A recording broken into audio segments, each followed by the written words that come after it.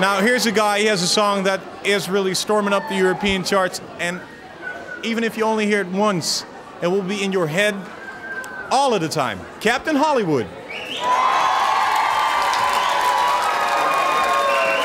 I gotta tell you, man, the first time I heard this record, it was like, I couldn't get it out of my head. Right. Is this something like you, you, you practice a long time for before, before you make a record like that?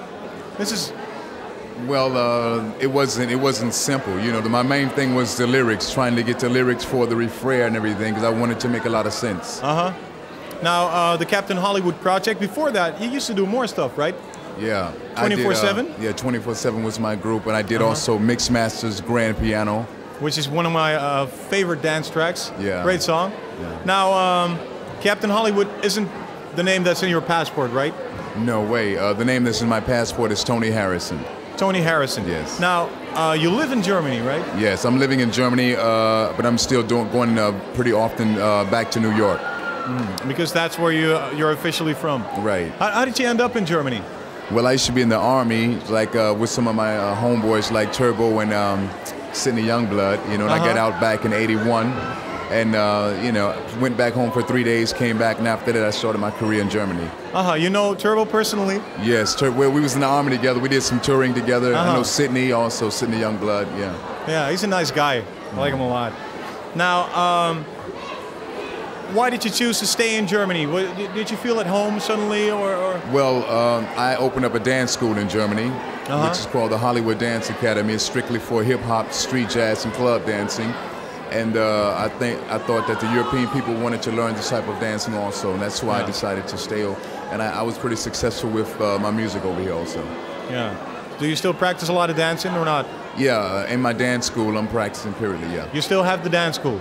Yes, of course. Oh, where is it? So, This is uh, in- I- also in Nuremberg. because I'm a, I'm a, like I'm a very clumsy dancer, right? I, I like when breakdancing was popular. I used to step on my own head. It's like it's Right. really a mess. Could you teach a guy like me to dance? Yeah, uh, my, my dance school is made especially for people who cannot dance that well, Uh-huh. and for people who want to learn how to dance. Right. So you're going to teach me some real funky steps later on, right? All right. Okay. Now what I'd like you to do is help me out with a top ten. Okay, you got it right no there. problem here. Okay, I got from zero to ten. Captain Hollywood with more and more. I have uh, from the number eight to number nine Inner Circle with sweat.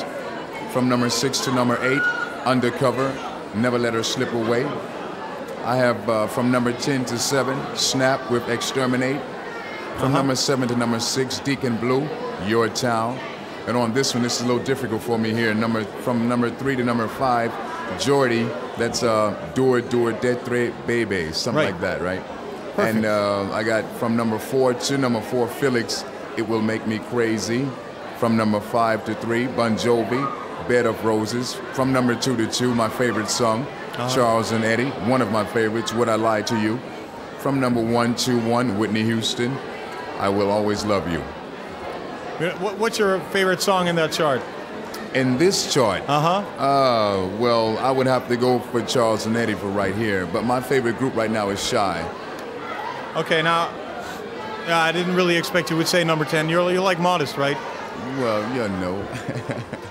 Hello. I'm Phil Collins, and you're watching Europe's number one rock show, Countdown.